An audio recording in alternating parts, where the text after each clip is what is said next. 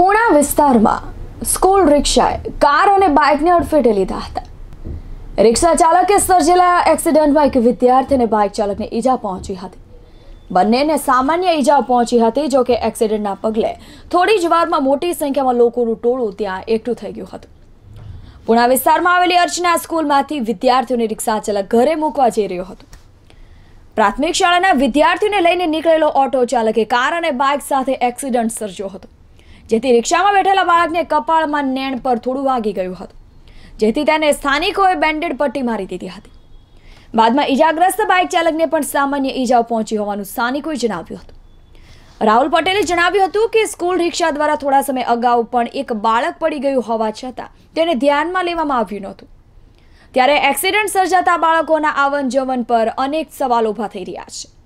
યોગ્ય રીતે transportation school દ્વારા જ આપવું જોઈએ. અથવા તો વાલીઓએ રૂપિયા બચાવવાની લાહમાં ગમે તે રિક્ષા ચાલકો સાથે બાળકોને ન મોકલવા જોઈએ.